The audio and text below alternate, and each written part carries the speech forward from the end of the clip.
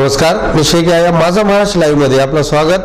पाहूया आजच्या crime report Khadakpura येथील सहा वर्षीय मुलाचे हत्या प्रकरण सीआयडीकडे वर्ग करण्याची मागणी. आता बातमीपत्र विस्ताराने. खडकपुरा येथील सहा वर्षीय मुलाचे हत्या प्रकरण सीआयडीकडे वर्ग करण्याची मागणी. खडकपुरा येथील सहा वर्षीय बालक शेख शोयब शेख सलीम याची हत्या करण्यात आली होती. या खून प्रकरणात मनोरुग्ण असलेल्या इसमास अटक केली आहे. परंतु या खुनाच्या काही बाबी विचारात घेतल्या असता हा खून विचार करून व नियोजन पूर्ण केले आहे असे समजते. त्यामुळे सदरील प्रकरणे स्थानिक गुन्हे शाखा किंवा सीआयडीकडे वर्ग करण्याची मागणी नागरिकांनी जिल्हाधिकारी व जिल्हा पोलीस अधीक्षकाकडे केली आहे. 2018 के मार्च के महीने में जो शेख शुएब का जो कत्ल हुआ था और उसका आरोपी अभी तक पकड़ा नहीं गया तकरीबन पाँच महीने हो चुके हैं। और इस आरोपी को पकड़ने के लिए पुलिस ने जो है सो एक मेंटल शख्स को उठा के अंदर डाल दिया, जिसके ऊपर 302 का आरोप लगाया है। हमारा ये कहना है कि पुलिस की जो सही छानबीन नहीं हुई और पुलिस ने जो है सो सही आरोपी को नहीं पकड़ते हुए अपने काम को कंप्लीट करने के लिए एक पागल को अंदर डाल दिया है। और हमारा कहना ये है कि जो सही आरोपी जो शायद आज खुला घूम रहा है, पुलिस जो है उसे ढूंढे उसके ऊपर कार्रवाई करे।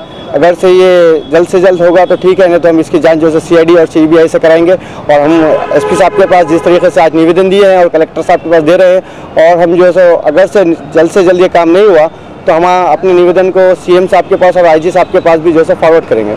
पिछले दिनों जो खड़गपुर में जो घटना हुई थी मार्च महीने के अंदर, उसके लिए जो आरोपी शोएब था, जो मरने वाला शोएब था वो बेचारे को जो सुनो न्याय सही तरीके से नहीं मिला आज तक के। और पुलिस डिपार्टमेंट का कहना है कि जो सुनो, ये पागल ने परसों जो सुनो, दस दिन पहले जो सुनो अरेस्ट किया गया। शेख आसिफ, शेख हैदर, गंगाचल का।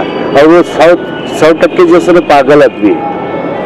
ना उसको खाने का होश है, ना पीने का होश है, ना बात करने का होश है, ना किसी को कुछ जो सुनो, देखता नहीं। और उसको आरोपी बना के जो सुनो, जेल में डाल दिया गया। ये ना इंसाफी, हमको बर्दाश्त नहीं हुई। तो हम जो सुनो पुलिस के पास गए। पुलिस ने भी जो है उसके ऊपर जो उसकी कार्रवाई भी की, वो कार्रवाई जो सुनो आरोपी बन के जो सुनो कर दिया। तो हम बोले जो सुनो ये मुनासिब नहीं है। इसके लिए दूसरा आगे का रास्ता इख्तियार करना पड़ेगा, इसलिए जो सो एस साहब के पास आया हम एस साहब के पास आगे बोले साहब, जो सुना ऐसी ऐसी जो सुन घटना हुई पिछले दिनों उसके लिए जो सुनो जो सही मुजरिम है, उसको लेके नहीं गया गया, एक पागल को जो सुनो लेकर गया गया।